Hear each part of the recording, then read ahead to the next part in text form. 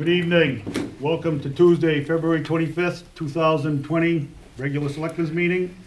Is uh, Selectman Pendergast is out with an illness, is uh, Selectman Ganir is working tonight, is the rest of the board is here, the town manager, town clerk, the whole rec department, it looks like, Planning.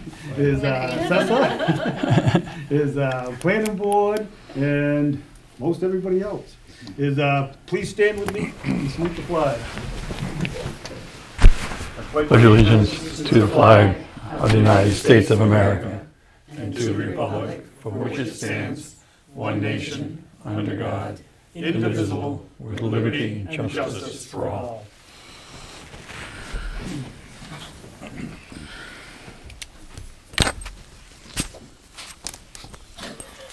Um, we have uh, January 28th meeting minutes to approve.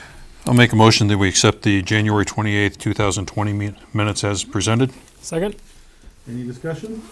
All those in favor? Thank you. Is, uh, we don't have the proper people here for the February 11th. So, we'll table those. Uh, first public comment, first public comment's 15 minutes long. If you have a comment, please step to the microphone, address all questions and concerns to the board. Is there any public comment?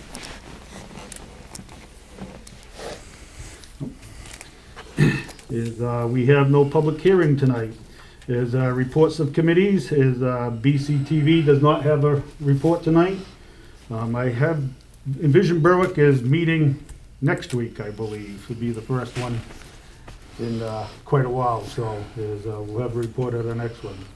Uh, department reports, it says water department. Well, yeah, it's really not a department report, it's a request. Oh, Yeah. The water department, um, and through their engineer, Amanda Keys, um, who worked for uh, uh, Tighe Bond, uh, submitted a grant application or for a loan through uh, DHHS and the water department. Uh, We were approved for 1.2 million. It's, uh, we draw it down um, as needed. Um, So uh, we have quite a uh, lengthy process that we plan on, uh, and pilot studies to try to improve the water quality. Um, I think I've shared that with you uh, before. Um, It first starts with looking at uh, chlorine dioxide, adding that into the water, and trying to get rid of the disinfectant byproduct, and also uh, work with some of the manganese to get that out. Um, It was going to, once we have all our test results, we can move forward with any, you know, any improvements that uh, need to be done, which is quite a list of things that it's going to require. Uh, Upgrading some of our software, um, adding, um, getting rid of our, uh, we have a waste bag, I'm sure you've been down there recently. Uh, That will be, disappear, and we'll be uh, dumping stuff into the sewer, uh, which we haven't done for quite a few years, from what I understand. Um, So the uh, Val from Underwood Engineering is working on what the limitations are of materials that we, they can take. I don't think it's going to be an issue because we've, you did it years ago, and, and I think it was abandoned because it was very expensive, about seventy-two thousand dollars a year. But uh, with what the problems we're having, I think it's well worth the investment to start doing that again if it proves to be uh, something that will work. So I just need approval from the board to accept the, uh, uh, uh, the loan at 1.2, and I'll have more detail with, I'll have Amanda Keys come to the board and walk through what uh, they're going to do at one of our meetings. Is, um, is, who is the loan through? Is it It's- Ru- rural water or? Uh, It's through DHHS, it's a, To yeah? And, uh, and it's, it's a loan, not a grant? it's a loan, not a grant, and only what we draw down do do we pay for. So we, uh, for the first year, I don't suspect that we'll be drawing down anywhere near the total. Um, Amanda has a guideline here that she pa- laid out, um, and we're into 2024 uh, before we uh, spend a couple hundred thousand, so, we'll- but that's all preliminary testing work we have to do, bef- make sure the system works before we implement it and, and, s- and do the work. And we have a plan on Yes. how we're going to go forward? Yes, we do. Okay, is Amanda going to present that Yeah, to she us? can pre- present that to you. I just want to make sure we, we have to accept it, uh, the, the loan, or it will go to somebody else. Uh, She submitted the application, which outlined the, uh, the whole program. Do you need us to approve that tonight, or do you need Yes. us? Okay. Is, um,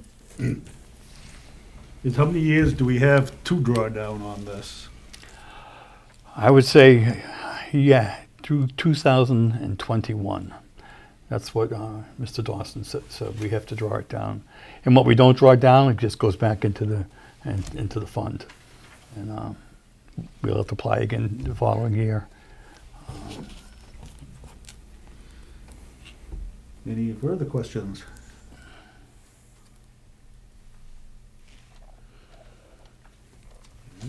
I'll make a motion that we uh, approve the town manager to uh, pursue the loan from DHHS for $1.2 million for the purposes of correcting the problems we have at the water treatment plant. I'll second it. Any further discussion? All those in favor? Thank you. Thank you. That brings us to our presentations. Is we have Dave Andreessen from the Planning Board and Rick Vandenberg from the Recreation Master Plan. And we also have somebody from the census here, so, yeah, busy night tonight. All right, good evening. Chairman of the Thank Planning you. Board, Dave Andreessen, Chairman of the Planning Board.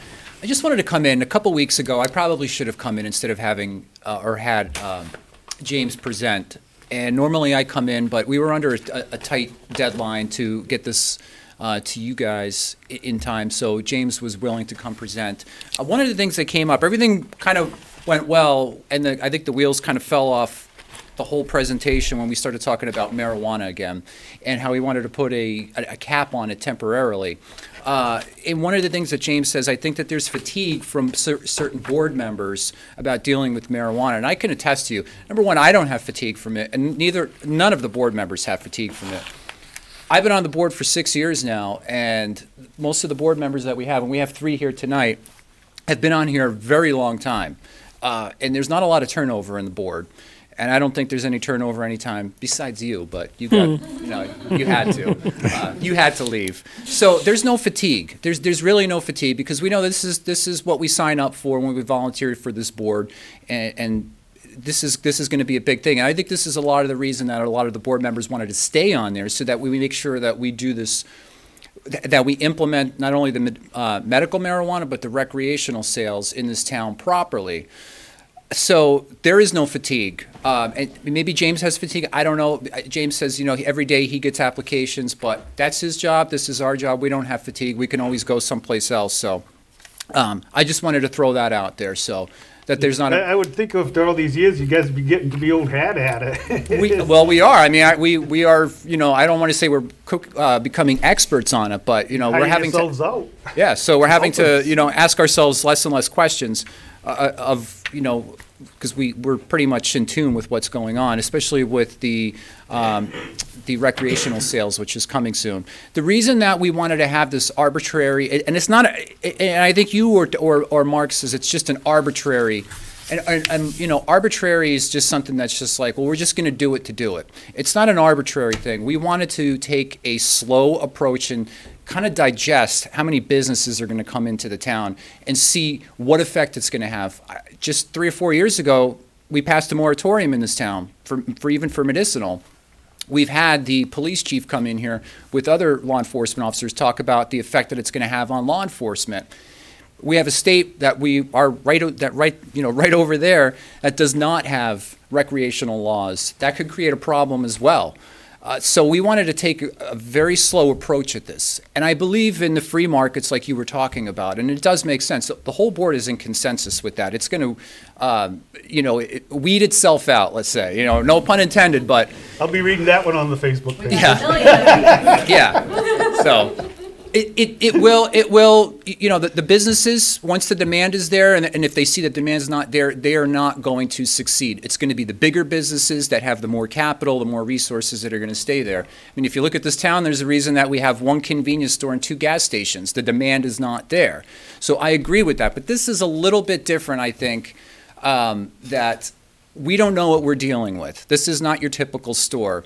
And if you look at, if, if you read the paper, if you watch 60 Minutes, if you see what's happened, what happened in California, what happened in Colorado, it was a boom, and they're struggling now to catch up with it, especially with law enforcement. So I think we've got 14 in this town already. 14 that are either grow facilities, recreational, uh, potential recreational storefronts, or or um, uh, dispensaries. And we've also been getting unsolicited comments from members of the public, whether or not we're you know residents when we're out out and about or at the meetings, that we need to pump the brakes a little bit and just take a time out. So we talked to James at the last board meeting, addressed your concerns. Uh, a couple, of the, one of the board members, uh, Mike LaRue, he agrees with us, but he also says that it should be, it should not be an infinite time period. So I asked James, and hopefully he presented it with you to you tonight. The amend, there was one amendment to the land use ordinance for the um, just for meta, or just for marijuana in, in that portion. I believe it's the last where it, it says that we, we're going to address this every year, that the board shall address this cap limit every year. So that, would- that would come then every year that we, as we're discussing land use ordinance amendments. I think, we don't know, I mean, I- we're looking at April, May, I think, for these shops, these storefronts to open up. Um, we don't know what's going to happen in, in April or May. And I think that it's going to be a discussion that we're going to have to get into uh, with the police chief as well, and, and, you know, and the select board, so we can address it and, and hear from him and say, is, is is there a problem? We can also look at it from an economic standpoint. But I like the fact that you're looking at, hey, these businesses have come in, some of the assessed values of these properties are three and five million dollars, which I think, Tom, I think you said is more than Prime Tanning, which is great, which is great, absolutely great. And I don't want to take that out of, I don't want to take that away from the town. But I just think we need to pump the brakes a little bit and sit back and kind of digest this first few months or year and, and see what this brings to the town. So is, if I'm reading this correctly, is, is under uh, the thing, it's, it's, uh, it's the number of conditional use permits granted in each zone as of June 9th, two thousand twenty, shall be the limits of permits granted in each zone. The number of conditional use permits in each zone shall be tracked and monitored by the Town of Berwick Community Development and Planning Office. This provision shall be reviewed by the Berwick Planning Board and amended as needed on an annual basis. That's correct. That's, the- that's the best language that we can come up with, and, and uh, Lee J. Feldman was there as well, and he suggested that we put that language in there. So, you know, we're going to have to go back and address this every year. Come next January, February, February, when we're looking at the land use ordinance amendments, once again, this is something that maybe we can workshop then and, and, and bring the chief in here, talk about any effect that it's had, and then maybe we, maybe we actually, actually remove that whole provision in there in the land use ordinance. So it's just, it's just taking a step back from now because we don't know what we're dealing with. It's not like this is a restaurant or a, or a store or something like that. This is a whole different beast. It's, it, it really is, so. You know, we, I, and we had this, allowing marijuana into this town narrowly passed by a referendum, I think it was 2016. Yeah, about 2016, and then we had the moratorium, which passed widely. So what's best for the town, I think what's best for the town is to have this business, but also to do it systematically to make sure that we can absorb that. So those are our recommendations. Um, And I'll, I'll, and one last thing, um, what was I going to say? Well, I'll let Nicole jump in here. So you get your thoughts, yeah? Um, Nicole Fecto, Vice Chair of the Planning Board.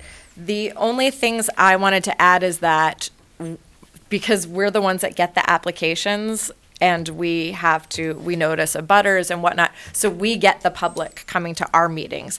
And just about every time we have a meeting where it's adult use or um, medical marijuana, whether it's dispensary or grow, we have a packed house and we've got very educated, we have a very educated public in this town. They're well spoken, they come up, they, and they've got great presentations. And we do have marijuana facilities, both adult use and medical, that are being put in. And granted, they are uh, in commercial property, commercial zones, but they're near residences. We're on a site walk next week on Route 236 for, I believe it's medical, um, a medical dispensary, and there's a house on either side of that. Uh, it's things like that. You know, these places are allowed in those zones, but when it's your house that it's next to or your house that it's next to, then you might want to think about pumping the brakes. But like I said, we see the public. The public comes and talks to us about it, and that's what they're telling us. So we think it's our job to tell that to you because while we are absolutely in favor of business in this town, um, it's really hard to get other businesses here, and um, I don't I don't want to see it overwhelmed with marijuana either. That is all. So the only other thing that I wanted to say is that we've had a, uh, a business owner who owns one of these grow facilities uh, from at uh, 420 Portland Street. She's been coming to the meetings a lot and just watching how we're discussing this. And we had the $25 licensing fee per year through the town. She says that has to be much higher. And I watched the last meeting and I saw Mark do this, and he's absolutely right. I asked James and I asked Lee J to get to kind of survey the other towns and see what they've come up with, but it should be considerably higher because these businesses can definitely afford it.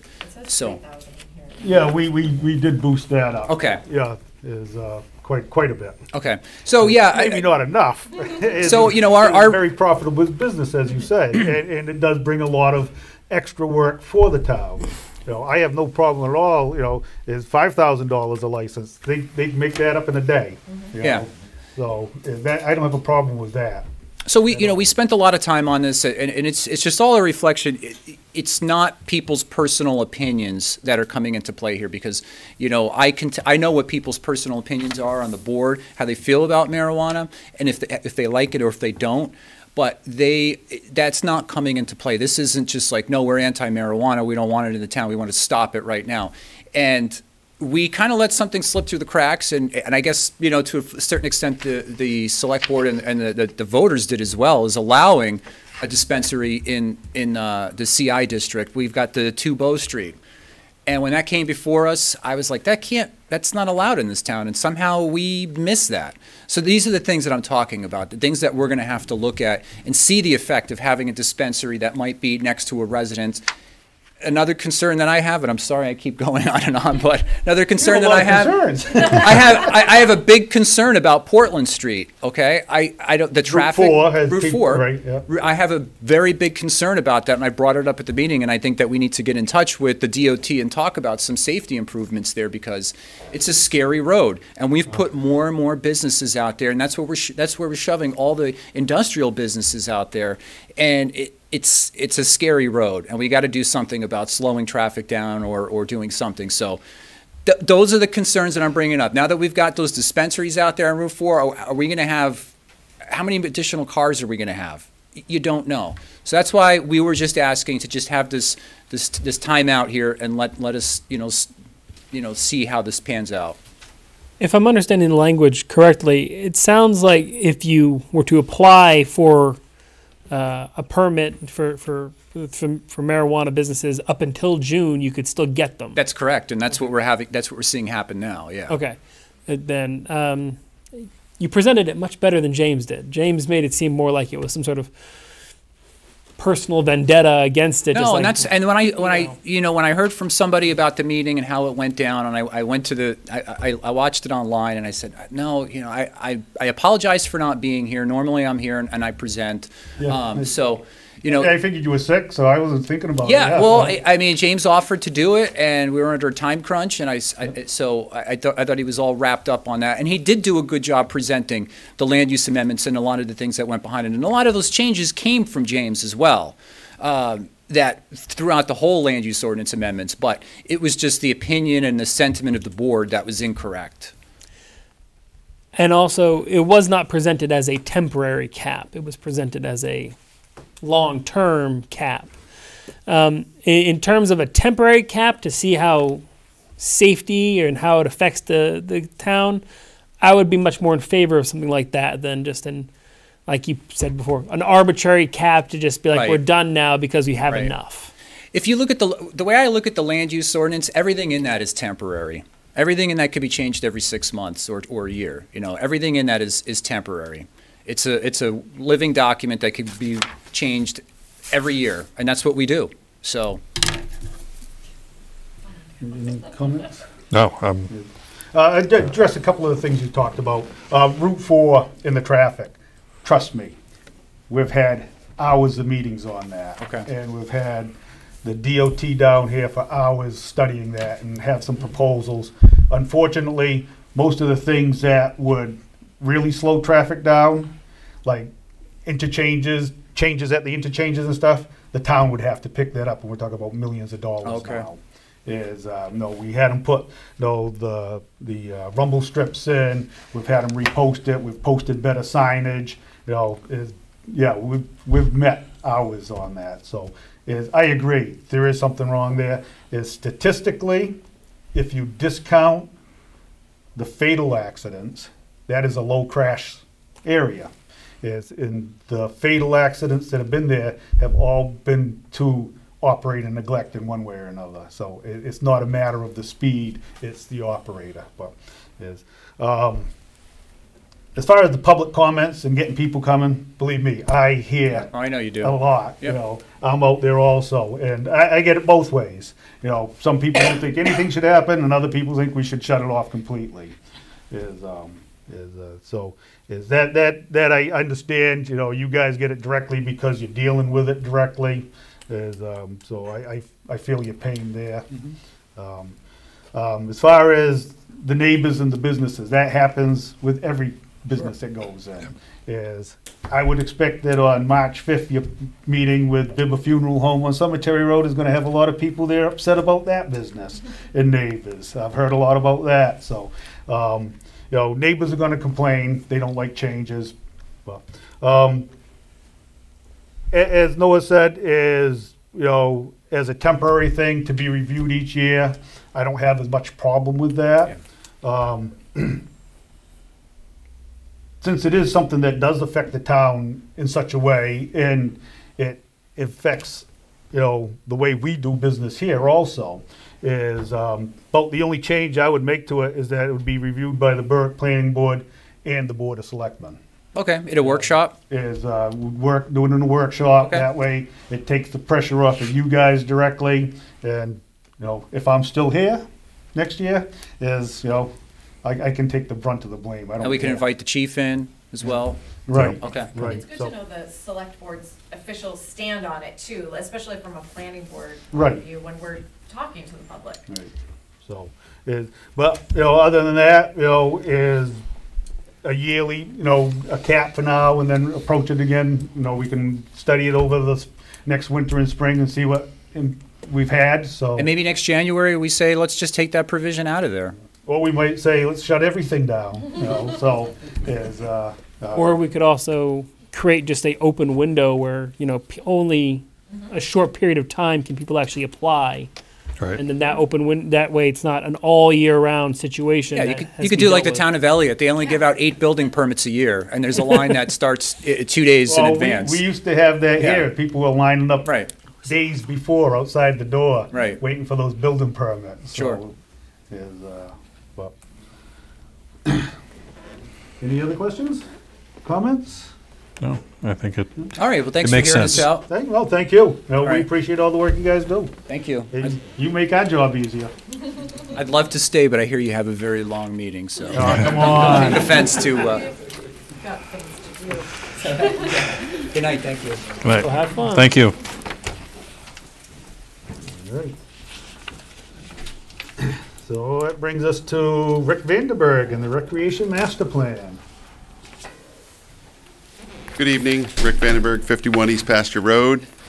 Um, I got more sleep this, this time, so I'm, I'm ready, willing, and able to talk, and um, I promised uh, Selectman Cobb that I spoke, would speak for three minutes last time, I talked longer.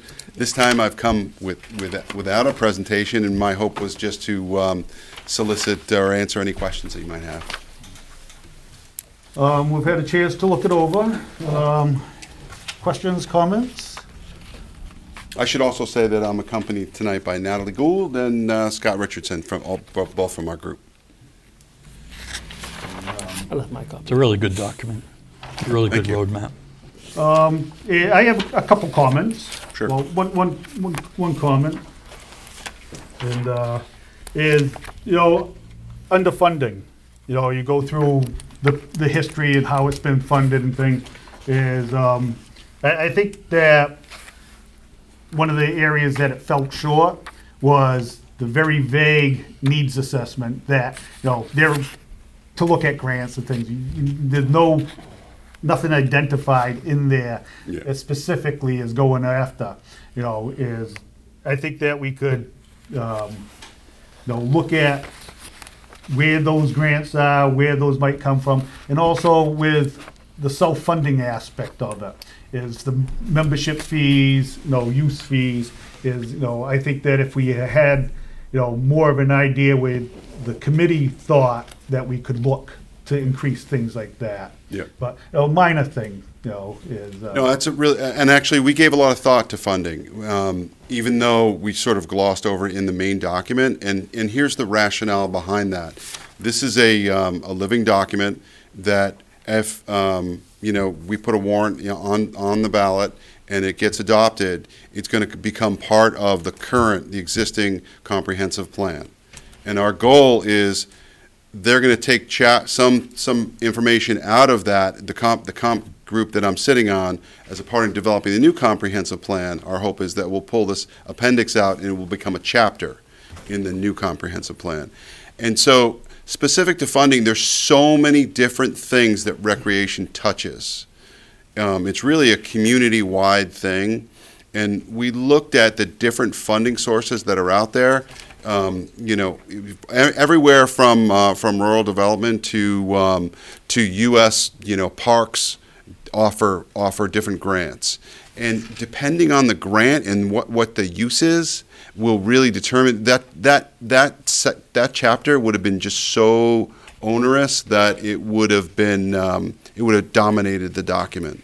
And um, I dire- I'll direct you to our my cover letter that really kind of shaped the major issues. And we feel like the most important thing when it comes to funding is that we look elsewhere first. And I think you get that. We want we don't necessarily want to look to taxes first. We look want to look and see if for whatever project we want to do whether whether there are other funding mechanisms. And if we do that and then we go that through the logical progression and we come to oh we've exhausted all these options. This is still a really important project and it's really high on the selectmen's uh, um, list then maybe it can get funded through, through taxes. But, but um, that's our stated goal. We want to add to the community. We think it's a perfect time to be doing all of these things with the changes that are about, that are on the way right now. And um, if we if we do this and consider other things while we're doing it, I think I think we're going to be in a good position. As I said, you know, is the grants and, and, and things like that, I can understand, you know, is, uh, is, I would have liked to have more of an input from the committee about where we could have, you know, added fees for usage and things like that. You know, I'm not familiar personally with all the different fees that people pay, you know, whether it be, you know, through the rec department or baseball or football or soccer, so, you know, Yeah. something like that would have, would have been nice, but I'm sure you guys will give it to us now. I'm, I have no doubt about it. Yeah, I think I think you're going to hear more from Frank Underwood. Frank is Frank and Dennis Dupree have been working on sort of the the, the idea of funding, you know, and and our our there was so much to do on the planning side for us. We wanted to try to capture all of that and let the kind of priorities fall where they are. That's why we decided sort of in midsummer last year, it was a three and a half year process. This past summer, we decided to include the capital improvement plan because we thought that that was warranted to start identifying what the projects are. Because then, once you know the projects, the projects will then lead to where you have to go for funding. Any other questions of Rick? I thought it was uh, very well done, very well researched. I mean, you got a lot of feedback uh, from people and stuff. Um, it, it, it, it, it's exciting just to see all the stuff that you actually plan to to try to work on, the new activities, new new uh, new sports and organizations. I, I think that's all really great. As long as the as long as the demand is there, then you know you have my full support to to, to go as far as you can get to to fulfill that need because I know that you know I, I've always I, I've always lived in towns and just like I love that stuff where it's like you be small clubs, whether it's sports or games or you know even maybe stuff outside of your knowledge base. You know, there's card you know card games, comic books, and you know every other kind of recreation in the world. So just as long as you're fulfilling the demand that's there, yeah, full support. So There's a lot of demand, and, and y- there's two components. I mean, there's obviously planned recreation things, and then there's sort of unplanned stuff. And, um, and so we think we, we sort of view them equally as important. Um, when it comes to go, looking for a place to go for, for a little walk in Bur, someplace in Berwick versus, you know, trying to enroll your, your kid in, in, in whether it's Berwick wrestling or whether it's baseball or whether it's soccer. I mean, those are completely different things. So um, th- that's why the biggest thing that we learned as a part of our process is that we have we have great assets here in town, but we really lack. We really need to help on the communication side, which will get the information out about all the assets that we have, and that's one place where we where I feel that we can start first. And the biggest thing is our group will sort of disband. You know, at this point, once this is adopted, but we're hoping that, an, that another group will, will take its place, one that can sort of show more leadership when it comes to when it comes to recreation, all things recreation. And as to the um, the idea for a community center, I, I'm also all for that, but I know it's going to cost a ridiculous amount, you know, to to get that sort of thing. If if outside funding can be found for that as well, whether it's businesses sponsoring every corner of it, you know, like this is the Cumberland Farms room or whatever, I don't know, but I mean that's I, I think that's the best way to go about it instead of going, you know, directly to the taxpayers to foot the whole bill That's right. because it's going to be it's going to be a huge compared to what the town is but i do think that the town would benefit by having one in a lot of ways and i know that there is ways to generate revenue for, from one but you have to have it before you can get those so And there are also other recre- kind of planned recreational activities happening, whether it's through SAD 60, whether it's through the House of Hope, whether it's through some Yep. things that have happened at the library. I sort of feel that the biggest thing that we heard, 95% of the survey re- recipients told us that they favor a community center. But they didn't necessarily say that we, we favor, they favor a community center, that Berwick should go out and build one. Wh- I think what they mean is that in aggregate, we need to bring, you know, develop a community center, whether it's, you know, piecemeal, you know, that we can, that you do one thing here and you do other things there. You know, I, I think that, that's just as valuable, and it can be done probably at a much lower dollar. i believe that Um, I do take exception to one thing, Tell me. is uh, Estabrook Park. Oh, I knew you were gonna say that. Yeah, is, as far as I know, there is no Estabrook Park. We, we envisioned a, um, and I think that the community sort of, and some, commu- and some planning board members sort of fought for the, the idea of doing some recreation in any space that's left over at Estabrook, and I think that's sort of the idea behind that. Is, believe me, I was at those planning board meetings. Yes, I know. I know, Is we had many discussions on this. yes. And I agree that in the future, there may possibly be something going on there. But it was purposely said and pointed out and labeled in the planning process that it was open space, not to be used, not to be defined as anything else Right. until a future, you know, use Yep. has been determined. I think it can be, you know, and not to not to get too far into that, but I feel like um, that you know, as a part of a lot of iterations for Prime and the green, this idea of a green spine that extended from all the way from School Street up towards the library, uh, the Estabrook parcel would certainly play a role in that. And whether it's just uh, a paved walking, you know, path to get through that space, or whether it's a place to then you know linger and sit, or it's a place to read, I think those are those those all sort of fit the bill in my mind. Um, I take it personally as a backdoor way of getting this around me. I really do. And if that's included in there, I am not going to support this. Okay. Any other I- questions? I think I missed where, where that was Under, under the inventory of trails and parks, uh, that's the first place is Estabrook Park, green space adjacent, adjacent to the public safety complex. Short walking path connect the park to downtown across Wilson, Wilson Street and to Memorial Field via via Sullivan Street. As, you know, is, there is no connection from there to Sullivan Street right now. You know, and there's not gonna be one down our access road. That was fought hard at the planning board. And, you know, the uh, chief of police, uh, fire chief, you know, did not want people walking anywhere near the access road. That's why, you know, we agreed in the end to have a proposed path linking around the backside of the building. Is, but there is no park there.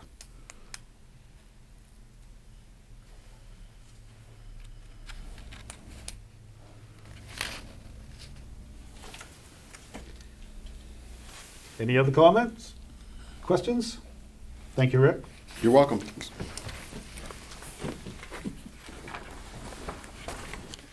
Uh, we do have an uninvited guest. Well, he was invited, he just didn't get on the agenda. Oh, wow. Is uh, Sterling Roop, Yes. is this? Yes, With Sterling the Roop. Census. Um, yes, I'm Sterling Roop. I'm a partnership specialist for the U.S. Census Bureau. Um, I cover Southern Maine, and I live in Biddeford, so I'm a member of the broader community. And I think the census is really topical this evening when you when you're discussing all these issues around planning and the future and where Berwick is headed. Um, and one of the, the best ways to ensure a bright future for the community is to make sure everybody responds and gets counted in the 2020 census. Um, you know, we at the Census Bureau don't just sit around for for a decade and then come out of our hiding um, behind our data sets to count everybody. This is a big process. This is the biggest peacetime mobilization of the federal government.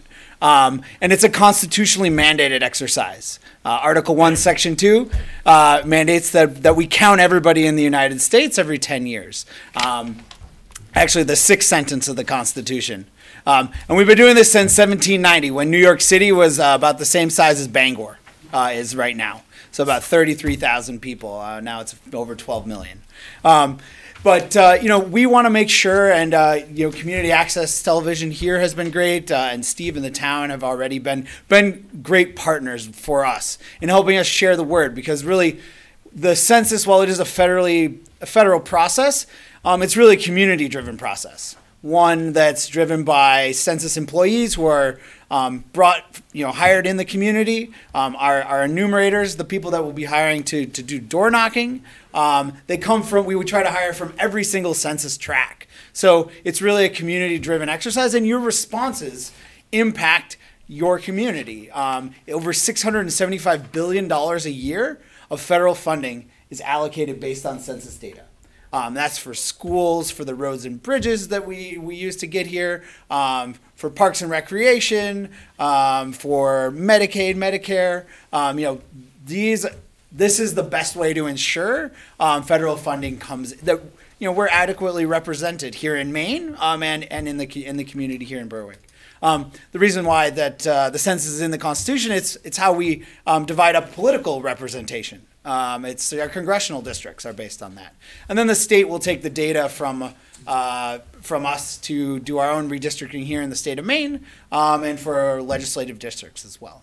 Um, so, you know, we're really trying to make sure everybody knows the census is safe, it's easy, and it's important. And I've talked about the importance. Um, safety wise, we work really hard. Every one of us is sworn to protect any personal information, not just while we work for the Census Bureau, but to the grave. Um, any personal information that you share with us will never be shared with anyone else. Um, we only share statistical information.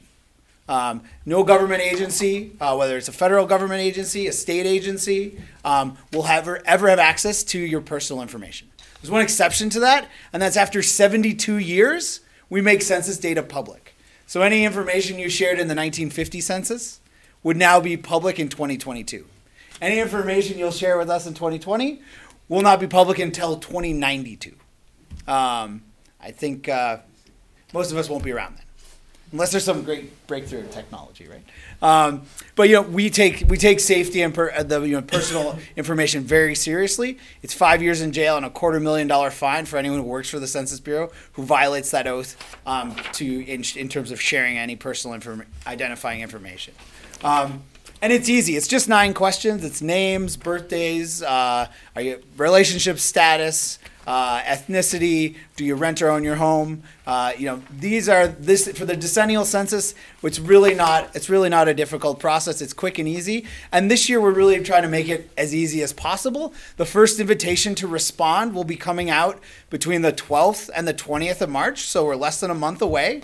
Um, and it actually be um, an invitation with a web address um, as well as 13 phone numbers um, because you can respond. You can call up in English, talk to somebody in English, and respond. You can call up in Polish and speak to somebody um, in Polish. Um, if you want to call in and speak to somebody in Arabic, you dir- directly do that. You can also just go on that web address and, and respond right online. Um, if you don't respond initially, we'll send you some reminders. Um, and then by mid April, you would get a paper ballot, which is how we've always done the census in the past. If you still haven't filled out the census um, about by the end of April, um, that's when we send someone from your community. One of your neighbors comes to your door. Um, they're working for us, and they and they they come to your door and they ask you those nine uh, easy questions. Um, we are hiring. It's twenty bucks an hour um, and uh, fifty-eight cents a mile mileage reimbursement. Um, you apply online. It's very easy. Uh, set your own schedule. Work as little as 10, as much as 40 hours a week um, at 2020census.gov um, forward slash jobs. Um, we also just we don't just collect data for fun because we're data nerds. We are data nerds, um, but we we do want to make sure the data is used, um, and we have a data dissemination program um, which is a pu- which is a free public good. Something if the town, if the planning board, um, if you want, you know, you um, if there was a group of small businesses, chamber of commerce wanted to to learn more how they could use um, not just decennial census data, but you know the data we're collecting um, every month um, for you know Bureau Bureau of Labor Statistics or um, you know, the American Community Survey, which is our kind of big survey that we do uh, all the time.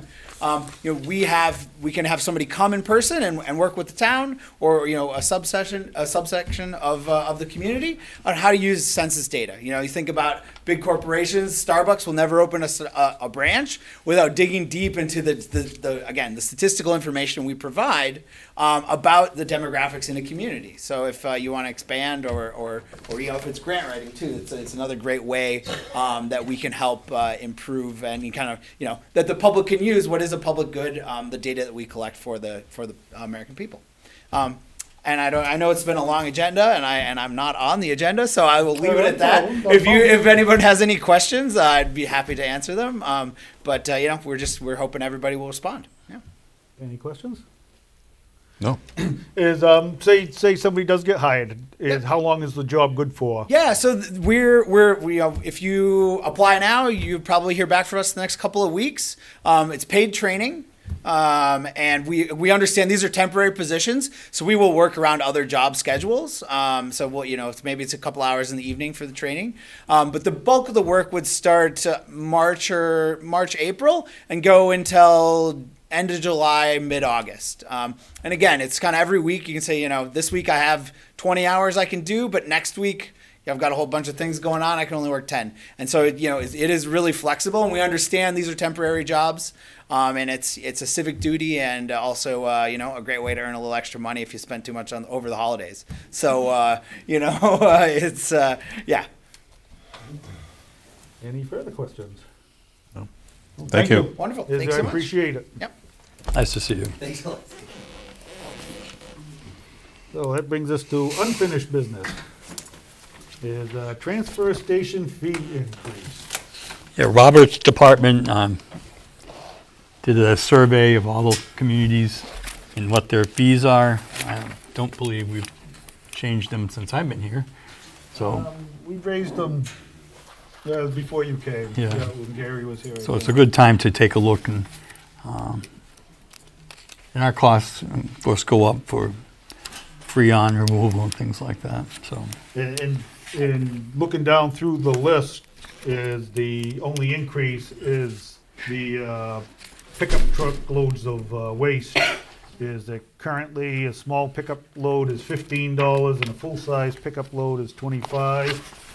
And uh, the proposed changes is thirty dollars for the small pickup and fifty for the full-size pickup. Yeah. But, You know, the, looking at the, uh, the, the schedule they gave for all the other ones in the area, it seems to be just about the same. Yep. So, is, uh, any questions? No, I move that we accept the proposed increases. Have a second? I'll second. Any discussion? I, I do have one question, and, and this is picky, and that's mattresses. I'm not sure why we specify just twin and full, rather than just mattresses. What, what do you do, if- what do you do with a queen mattress? Cut it in But- half? I don't know. But- Is, um, I, I I don't have a Yeah, I- problem, I- problem with the increases as, as presented.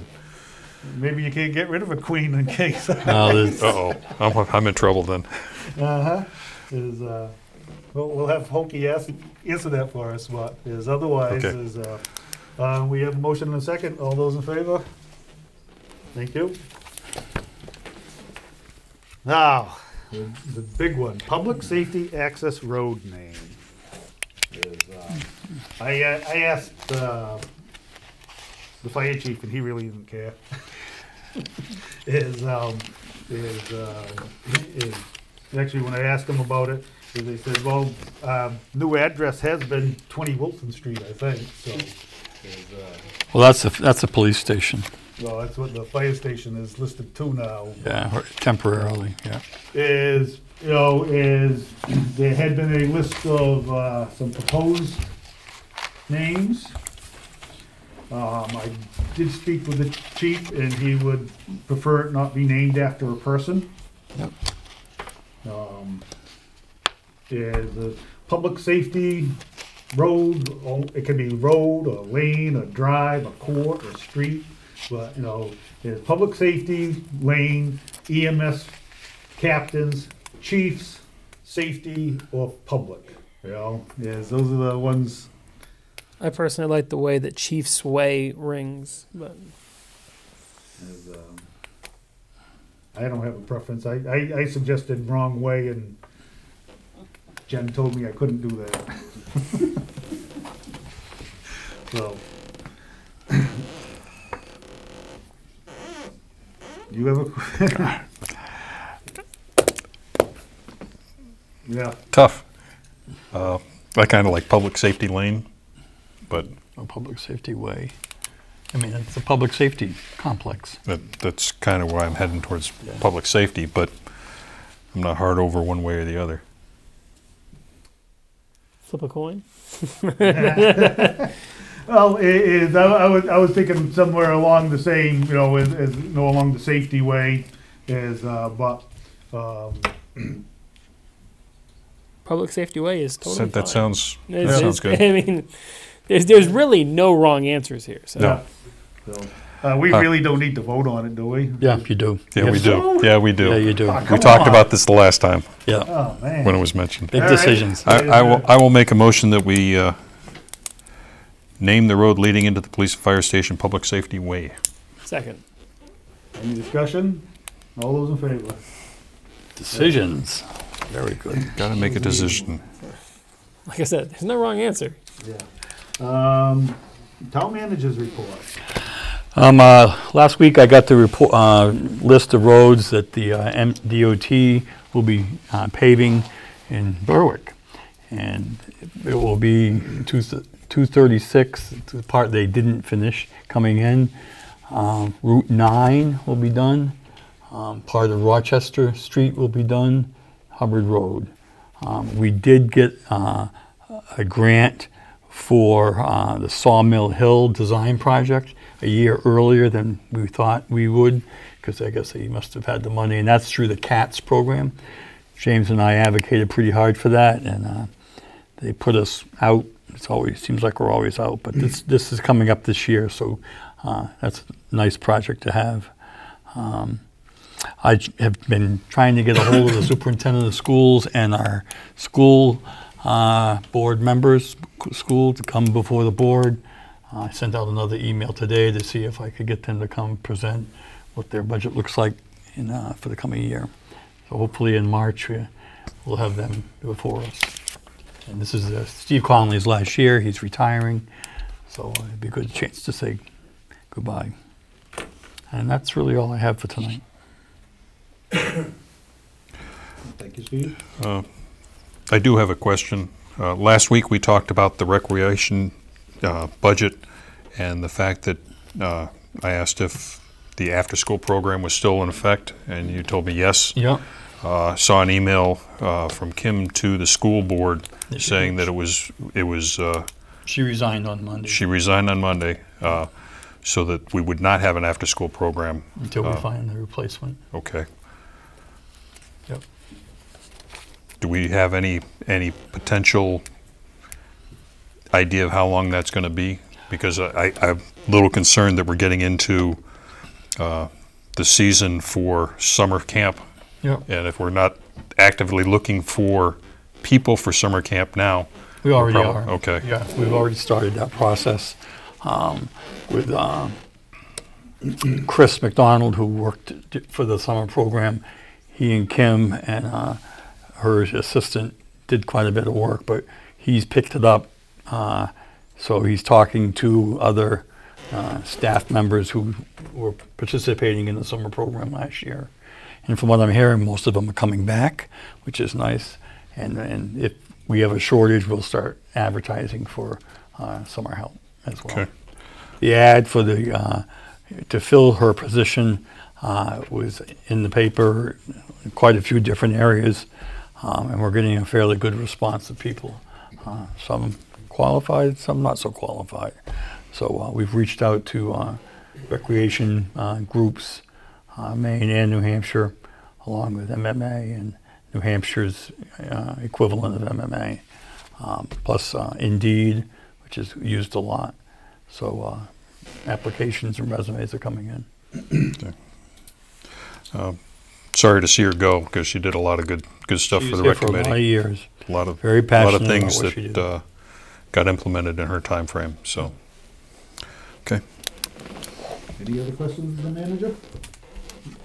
Um, I have nothing under selectmen's communications. Bring you to uh, account payable.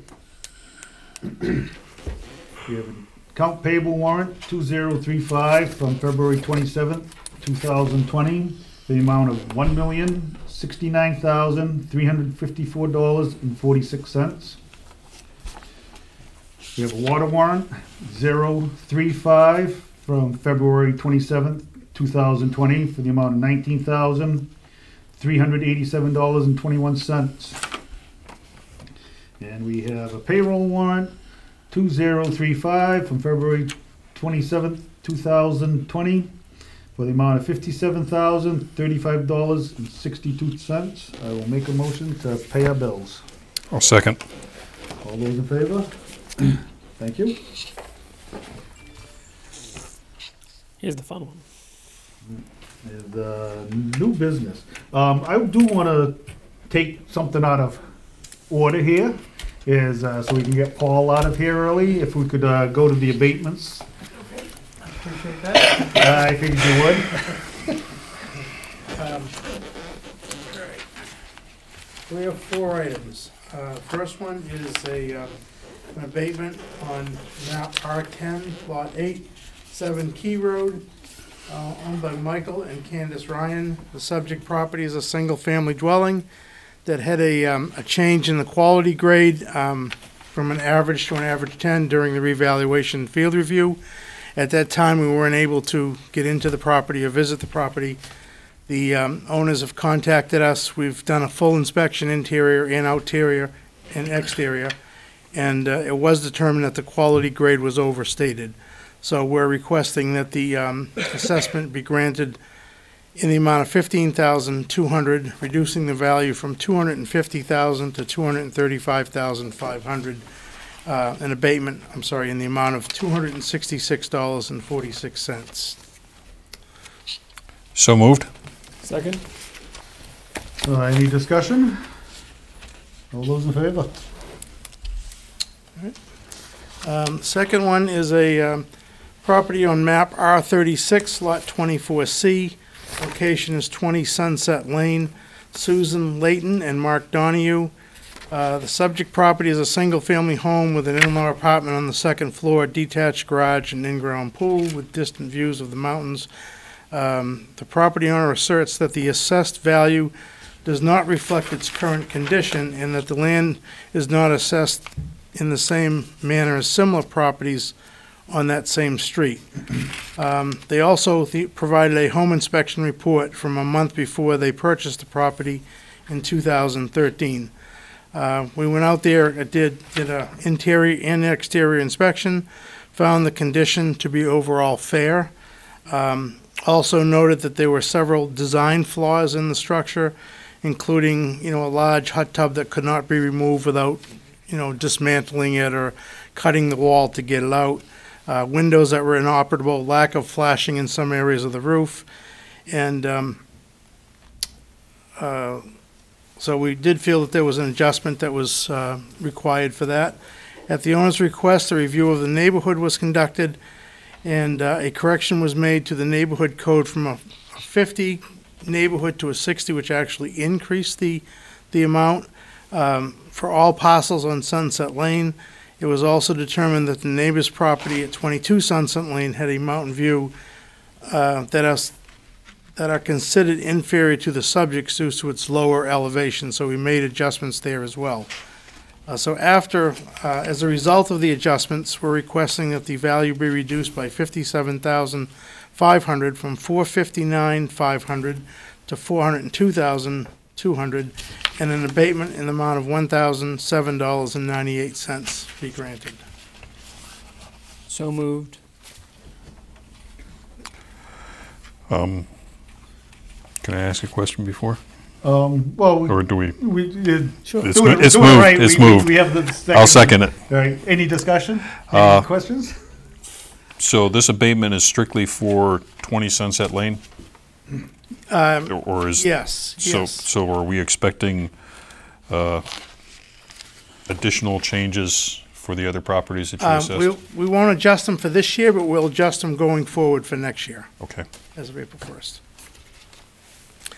All right, the, um, the next one is a, Voted on it, yeah. I'm sorry, Uh, we have a motion and a second. No further discussion? All those in favor? all right. Um, next one is a property on map thirty-six, lot thirty-five, one seventy Pine Hill Road, owned by Jerry E. and Karen A. Latart. Um, The subject property is a seven-family apartment building that has been under construction since 2010. Um, The uh, building's estimated to be at about 42% complete. The property owner is concerned that the assessment does not consider the condition um, in a, you know, to, to complete the property. Uh, Assessing conducted an interior and exterior inspection, found that the condition was not typical of a building under construction, due, under construction, due in part of it being there for ten years and just sitting vacant. Uh, there's a lot of things that are leaking, the windows are leaking, there's no, the interior is totally gutted. I mean, there's no plumbing, no wiring, uh, just a few framed walls, but not many. Um, and there's, you know, material that's been there for years, but it's just sitting there. So as a result of that, we did feel that there was uh, an adjustment that was needed. Um, So we're requesting that the property be reduced from $405,600 to 369,000, um, a th- a reduction of 36,600, and we're requesting an abatement of $641.60. Um, I have a problem with this one. Okay? Is this property has been a problem for Berwick for many years. Yeah. Is it sat totally open, it was a garbage heap. The neighbors complained about it for a decade before we finally made him do something. He went in there and did just a little teeny bit, closed it up, and now it's sitting again. And, you know, in my opinion, is from the condition it was in previously, and from what you're saying now, is I think the thing should be condemned. Is it's a Yeah. piece of junk. I, I don't know that, um, um, yeah, code enforcement's been over there in, in anytime Probably recently. not, no. I don't believe they have, and I, and I don't think there's an outstanding permit for them to go there. So I think it may be something we may want to talk to Jen about and see if. Yeah, I, I'd like to table this one because, Okay. you know, we've had a lot of trouble with that property over the years. As we've had previous code enforcement up there, we've had uh, the DEP up there. Yep. You know, there, there are rumors of him burying garbage in the backyard with his backhoe. Is, and as I said, it said, it sat for a decade open to the weather, no windows Yes. in it. Is, I can't believe that the flooring and the framing in there is any good. No, there's a lot, well, for the most part, it's dry, but there are several areas in there that have, you know, you can see the water has, I don't understand how you can go 10 years and only have 42% complete. Uh, My brother could put up an apartment building in in, in 3 Yeah. months if you gave him an, if he just gave him the money for it. So I just You gotta know Jerry. And this, this Yeah, property, it this said it's- property it's- is at one time is because of the way it was an old farmhouse that he built part of the foundation on for the new part, which is inferior to start with. Is we had an engineer, I believe we had the engineer come and basically condemn it, and then he went and got another engineer saying that it was fit, and that's when he closed it up. As um, it, yeah, I, I, I think I think we need to have code enforcement go up there with a, a thorough going over because, like I said, I can't believe that it's fit to be lived in. so let me, let me just, um, in two thousand seventeen, it was valued at two hundred forty-nine thousand. We brought it up to three twenty-one seven as a result of some, I think it was siding or some, some stuff that was Doors- done to Doors it, and yeah. windows and siding on Yeah, it. fine. and then as part of the reval, we brought it up to the four oh five, six hundred as part of the revaluation. And that's when he called and, you know, requested that we do an interior inspection, so when we went over there, we found it in worse condition than we had originally seen from the outside. Is there sheetrock in that building? No. Because he had a whole tractor trailer full of it. That, that could be, um, but there was nothing, there was some scattered materials inside, but the inside, there was no roughed-in plumbing, electrician, you know, No, electric, no, electrical, no insulation. Um, it was just totally, totally, just a frame, basically with siding. And this, and this is a guy that owns millions of dollars worth of property in Berwick. Yeah. Millions. Okay, so we're gonna table this one? yeah. Okay, We'll table that one for now. okay. And the last one is a sort of a, um, administrative abatement. Um, Great Works Test Boring is a business that was located at- at Four Coffin Road. Uh, It's personal property count number 716, and they had moved out of the property on- in July of 2016, sold the business to um, SW Cole. Yep. Okay? Um, They, I believe that they've never paid this tax bill, and I, and Steve, you can correct me if I'm wrong, but I believe we've tried to go after them to try to get to pay. They've never filed in the past for any other type of abatement, but we're just trying to get that money off the books, and so we're not spending attorney's fees and legal fees, you know, continually trying to chase it. So, um, as the assessors, you do have the right to go back to three years. Uh, we're looking for an abatement for seventeen, eighteen in the amount of hundred ninety-six dollars and thirty-three cents. Uh, for eighteen, nineteen in the amount of two hundred one dollars and forty-eight cents. And two thousand nineteen and twenty for two hundred dollars and sixty-eight cents. And from what we've been told, the property has been moved, uh, to New Hampshire for their other, you know, to another site that they own there. And This maybe is- Steve can elaborate. This on is the property that, a company that Mark talked about, and as we dig into it more, we find more stuff. But this company now has a separate business called uh, Great Works Feed, uh, Feed over on Route 4, which is what Mark was talking about. And they are coming in to visit with Karen to Right. get their uh, account up to stuff, and they have personal property. I feed guess. store, yeah. Yeah, the feed store. So that's going to clean this up completely. Okay. So the, the equipment that Mark was talking about wasn't the leftover from the No. boring company. It's the equipment that belongs to the septic company, Yeah, which are the same people doing different. great. Yeah, yeah. So I don't sure, I don't, I don't think she's been in yet, but she may have. But, I, I don't believe she has. but she called me on, uh, Monday Okay, yeah, because attorneys have been going back and forth, so, good. Yeah, so I think that will clean that up. So we're just basically trying to clean the books because just there's trying no to way, get it to- no way to recover this. Well, It's- they, they don't own the equipment. They, they bought the business, uh, in two thousand sixteen. Yeah. So, and they've just picked up all the equipment and left to, went to New Hampshire, so they, and we never knew about it. We And just They kept never told anybody, and it's, I- the lawyers like to argue it's, they don't have to tell anybody, but we send out requests for declarations every Yeah. year, and Yeah. usually, good, good business people respond, those who don't care, Yeah. don't respond. I just got mine in the mail today. Yep. So, uh, I'll make a motion that we accept the abatement as presented for fiscal, for the year, tax year 2017-18, 2018-19, and 2019-20. Second. Any further discussion? All those in favor? Okay. Before I leave, is there anything about personal property? yeah. I- That's why I'm I can pointing. read your mind.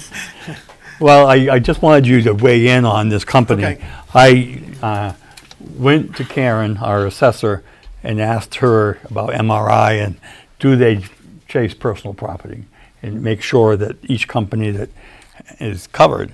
And Right. she says, no, they don't. Uh, but there was a company that they use in Kittery and a number of other towns.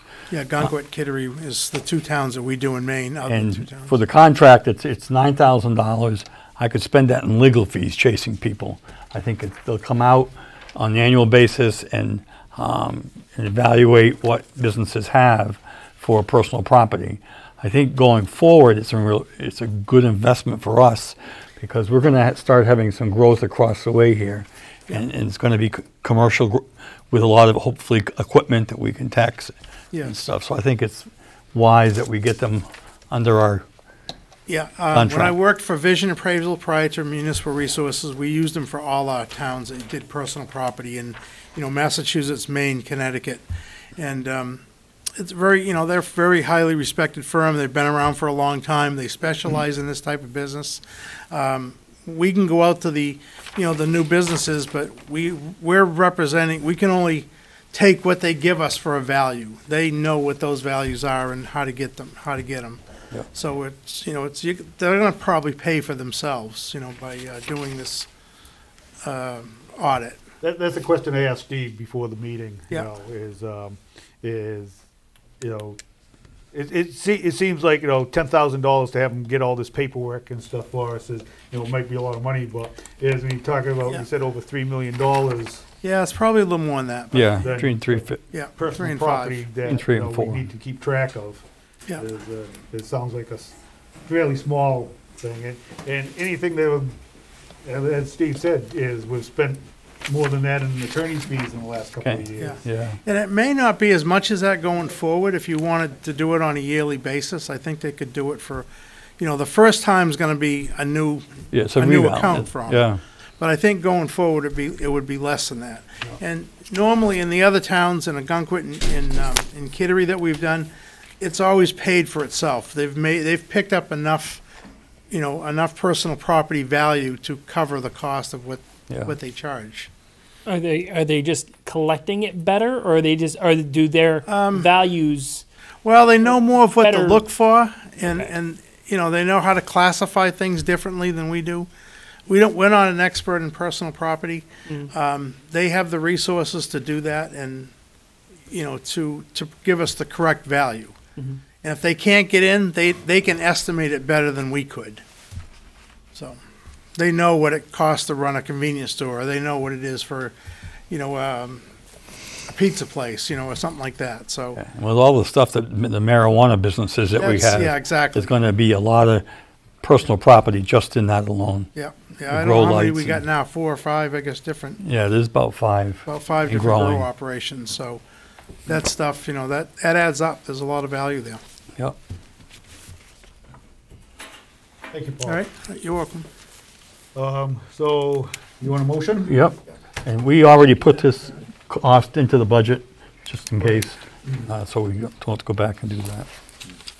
Uh, This is the personal property appraisal contract that we're Yep. talking about? Yes. You're all set. Thank you, Paul. Thank you, Paul. Thank you.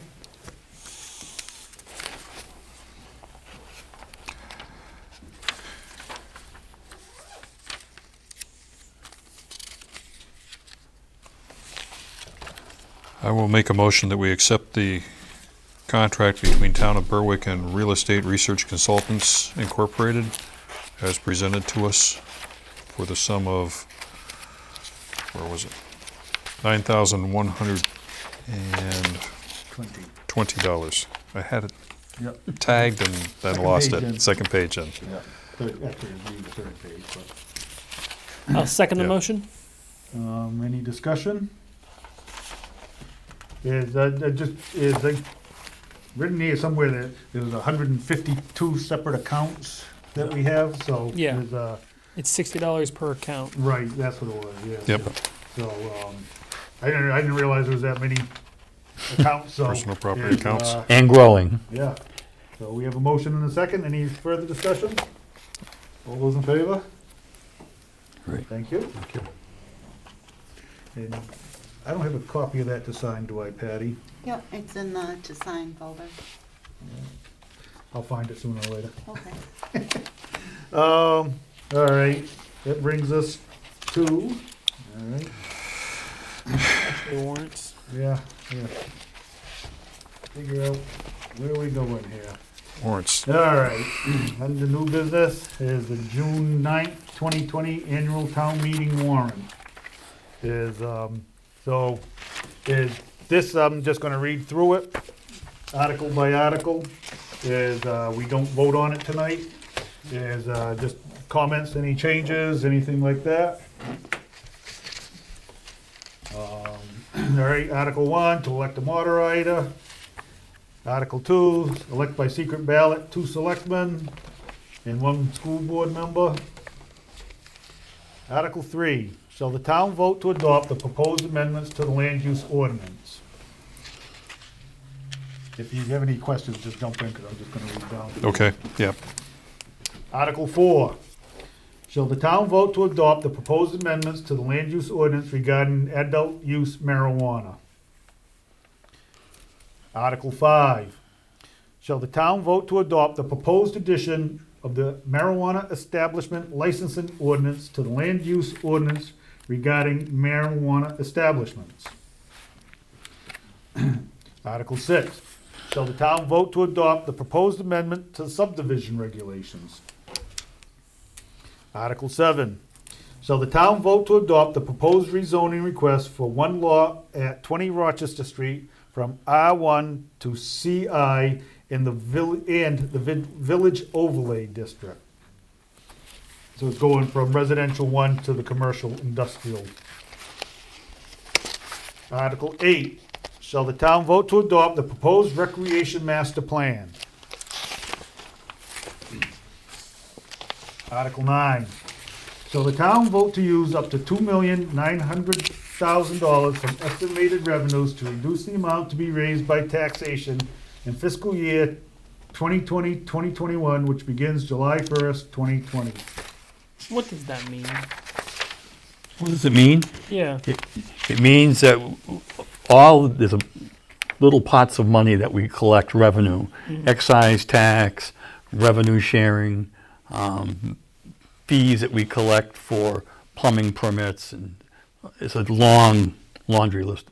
And what we do is we estimate using that to offset the taxes uh, it- when we commit the taxes. Okay, and that's just the amount that we have garnered over the past year. It's an, it's an estimate, Yeah. and we hope that we collect it. you know. We're usually, Yeah. well, just to give you an example, last year, we, we did a lot more. We collected, um, revenue sharing exceeded what we thought, uh, excise tax exceeded what we thought. So we had a nice bi- jump in our, uh, undesignated fund balance last So year. this is this this includes the revenue sharing coming from the state. Yeah. Okay. Article ten, shall the town vote to raise and appropriate the sum of three hundred forty-six thousand, three hundred twenty-five dollars for the general expense account for fiscal year twenty twenty-one? I'm not gonna go through, begins July first every time, so. Article eleven, shall the town vote to raise and appropriate the sum of four hundred eleven thousand, four hundred thirty-one dollars for the town administration account?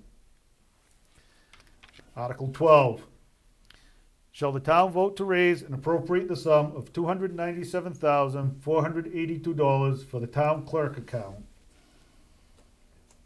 Article thirteen, shall the town vote to raise and appropriate the sum of two hundred two thousand, eight hundred dollars for the planning account? Article fourteen, shall the town vote to raise and appropriate the sum of one hundred fourteen thousand, four hundred dollars for the assessor's office? Article fifteen, shall the town vote to raise and appropriate the sum of one hundred eighty thousand, one hundred fifty dollars for the town hall account? Article sixteen, shall the town vote to raise and appropriate the sum of ten thousand dollars for the general assistance account?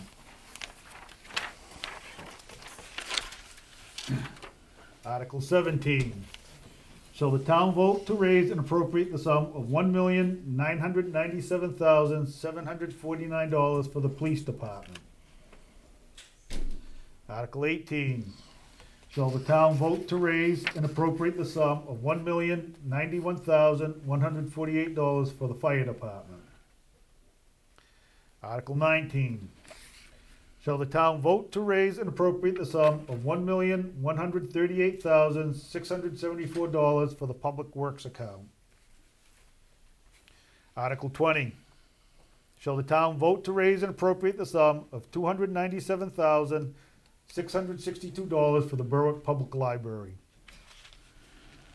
Article twenty-one, shall the town vote to authorize the expenditure of all revenues received from the state of Maine Urban Rural Initiative Program for fiscal year 2020, 20 2020, there we go, for road improvements as authorized by the program, with unspent balances to be carried forward each year.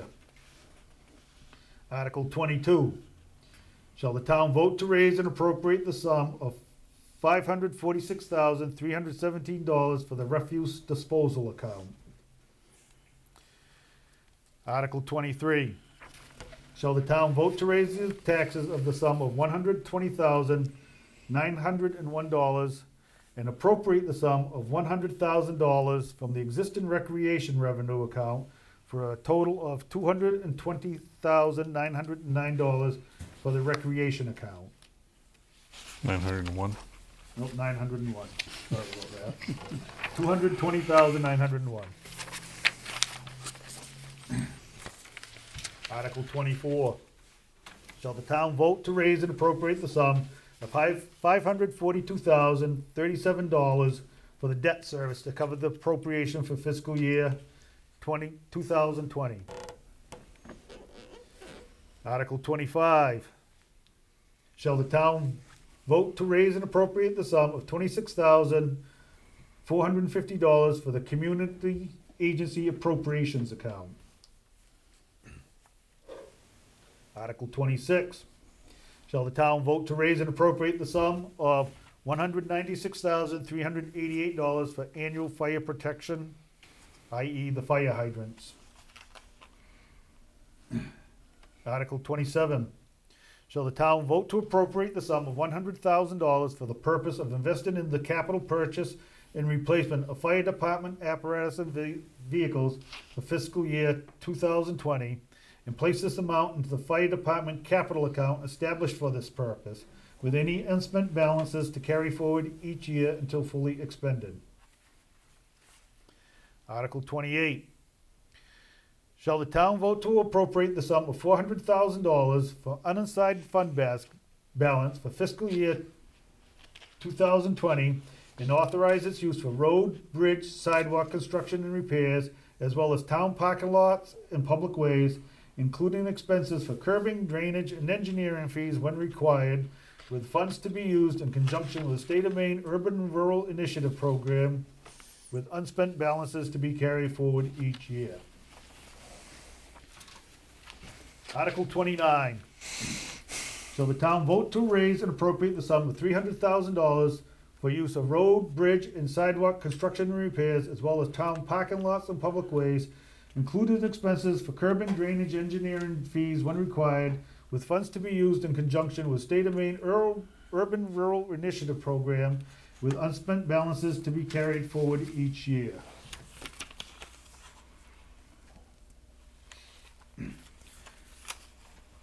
Article thirty. Shall the town vote to raise and appropriate the sum of twenty thousand dollars for the first lease payment for the purchase of one new police cruiser for fiscal year two thousand twenty, and place this amount into the police capital equipment account established for this purpose, with unspent balances to be carried forward each year until fully expended, and authorize the Board of Selectmen to enter into a lease purchase agreement on terms it deems appropriate, with the balance to be repaid over a period of no longer than five years. Article thirty-one. Shall the town vote to raise and appropriate the sum of forty-two thousand dollars for fiscal year two thousand twenty and authorize its use for continued addressing storm drainage system outfall issues identified the- by the Maine Department of Environmental Protection during an audit of the town's stormwater drainage system, and place this amount into the planning capital reserve account established for this purpose, with unspent balances to be carried forward each year until fully expended. Article thirty-two.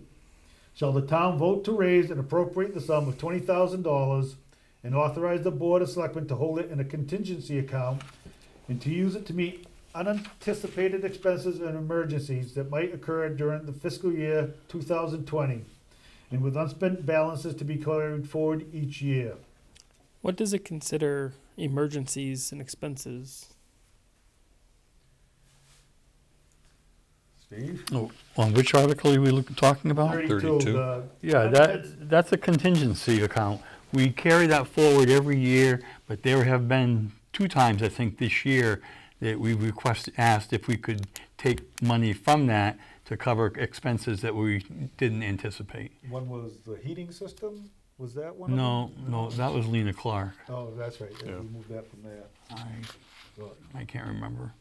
But But I, I just, I mean, we have a undesignated fund, right? I mean, what's Well, the that's a, difference? con- no, this is a contingency fund. Okay. The It's conti- conti- contingency is easier for us to draw upon. Yeah, it allows the Board of Selectmen to spend if needed from that account if it's not covered in some other account. Okay. Article thirty-three.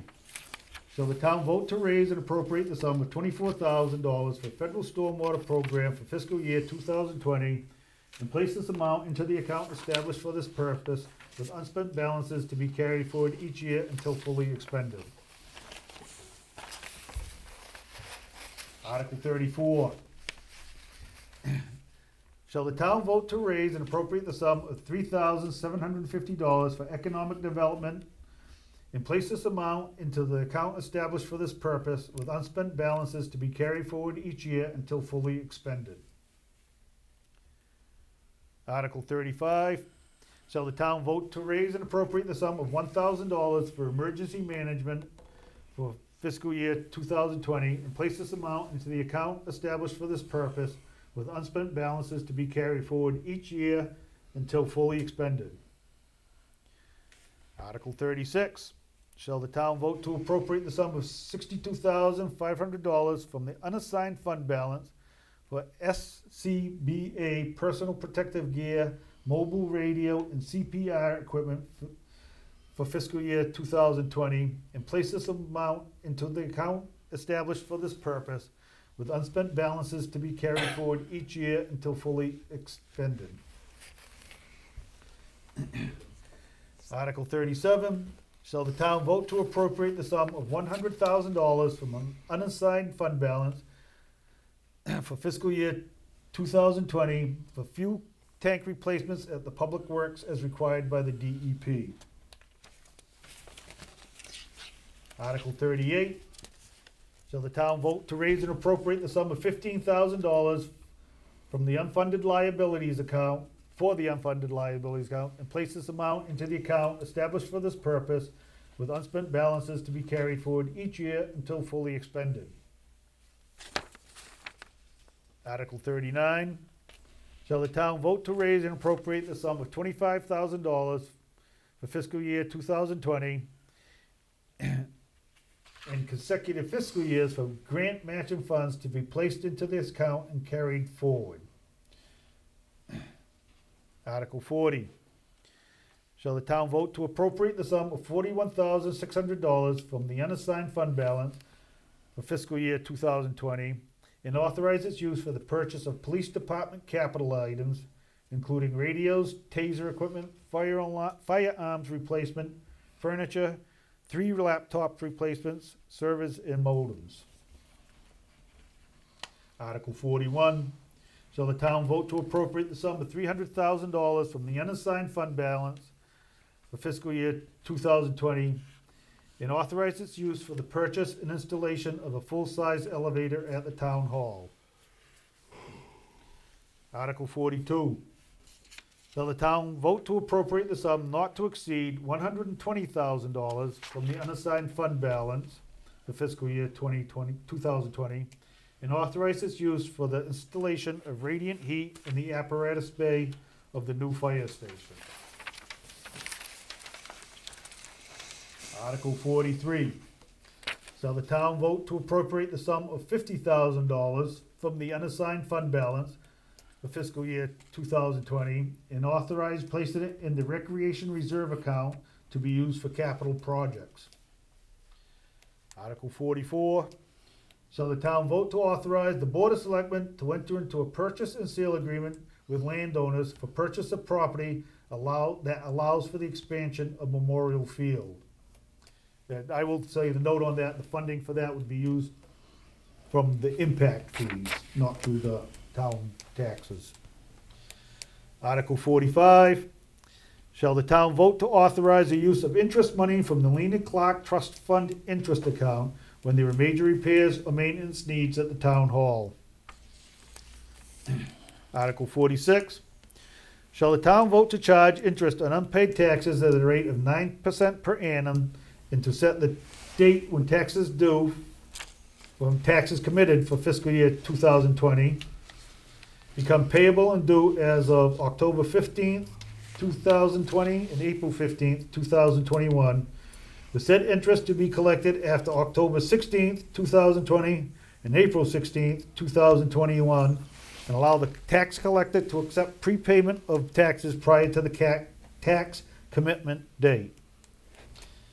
Article forty-seven, shall the town vote to set an interest rate of four percent as allowed by state law as a rate to be paid to taxpayers who pay amounts in excess amounts in excess of amounts finally assessed and authorize any such interest paid, uncollectible taxes or abatements granted to be charged against the annual overlay. That is the warrant. Uh, one note on Article twenty-seven, it says that the Board of Selectmen already recommends it for Yeah, a I vote of think- four to zero. Yeah, that's Yeah, last don't year. pay attention to that. That's crossed that out. Any questions of the warrant? I hope not. Well, Ken, come on up to the microphone, Ken.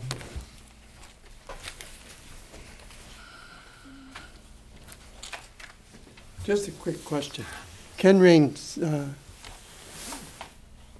Article 43, what capital projects does the Recreation Part Department have?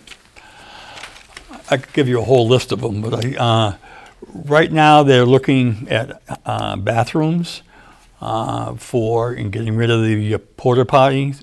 Uh, that's one project.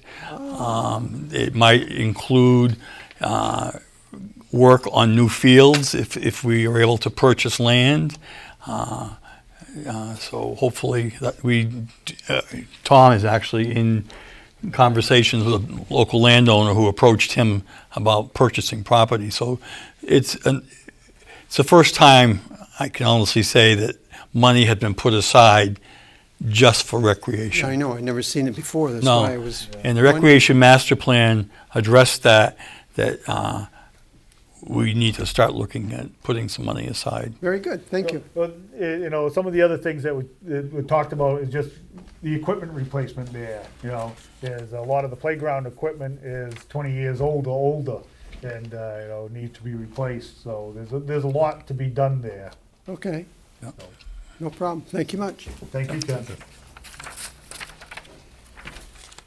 Let's see. My only question is, do we actually have to have everything separated out like this? I mean, is that, Yeah. Yes, it is? it, it's called transparency. No, no, no. I, I understand what you mean. No, I, It's, I, you know, it's so the, the public knows what they're spent, the money's being spent for. well, I just, I just mean there are some, uh, small articles, you know, like the, the police capital improvements or whatever.